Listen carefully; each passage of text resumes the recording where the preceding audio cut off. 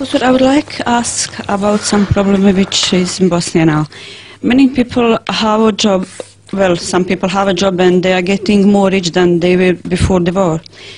While most of population live very hard life and they survive to meet daily needs. Even those orphans whose fathers died during the war lost their lives.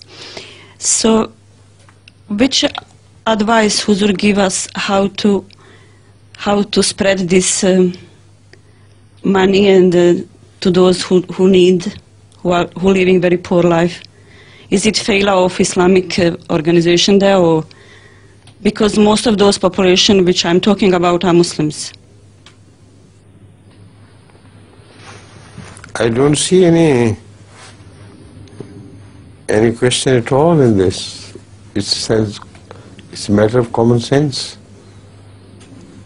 The holy, the the Quranic teaching emphasized so much the rights of orphans that in the light of that, anything you can do for the sake of orphans is Islamic. So I still do not see the the nature of the question. Why? What is bothering you about it? How we could uh, somehow force those people who have that very much, much more than they need, to give something force to them. force, to poor, You cannot for- them. You cannot force them. No one can. This is the freedom of human choice. If they choose to be evil, let them be evil.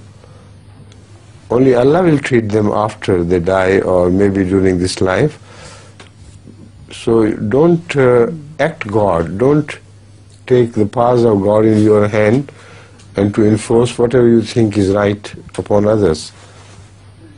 That's the only answer. You're helpless. So am I. Please.